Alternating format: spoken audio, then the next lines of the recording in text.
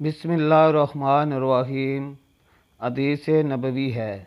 हाँ हज़रत अलैहि वसल्लम ने फरमाया, बेशक तू जो कुछ खर्च करे और इससे तेरी नीयत अल्लाह की रज़ा हासिल कर दी हो तो तुझको इसका स्वाब मिलेगा। यहाँ तक कि इस पर भी जो तू अपनी बीवी के मुँह में डाले। ये हदीस है सही बुखारी की चैनल को सब्सक्राइब करें, वीडियो को लाइक और शेयर करें।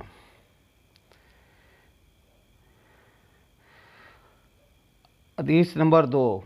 आप सल्लल्लाहु अलैहि वसल्लम ने फरमाया कि ईमान की साठ से कुछ ऊपर शाखें हैं और अया शर्म भी ईमान की एक शाख है। ये भी हदीस सही बुखारी की है। चैनल को सब्सक्राइब करें, वीडियो को लाइक